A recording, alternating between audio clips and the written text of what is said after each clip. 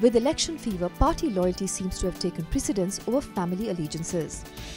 In Dausa constituency of Rajasthan, Union Minister and Congress loyalist Namo Narain Meena may take on his younger brother Harish.